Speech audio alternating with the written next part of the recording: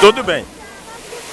É, o meu amigo Grilo, é, o Jair, de Jandar do Sul, que hoje mora em Rosário Oeste, eu e ele nós descemos ali no Tobo Água.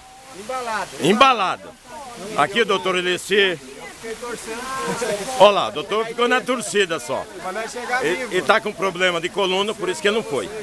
É, ficou na torcida e fotografando.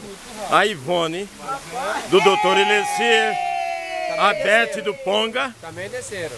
É, é, é, é, é. Então é o seguinte. Aí, viu gente? Acontece o seguinte.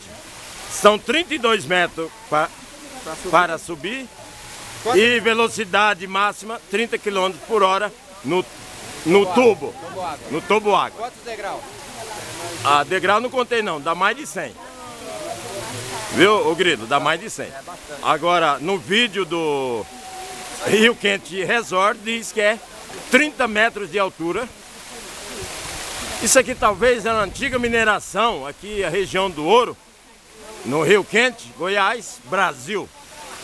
E para não dizer que eu não viajei nessa, está aqui o Ponga, presidente da Sociedade dos Poetas Jandaenses. Gente, quem tem condições, venha. Quem não tem, faz empréstimo e venha também. Vem do mesmo jeito. Vem do mesmo jeito, que é bom demais. Fui! Desliga, galera.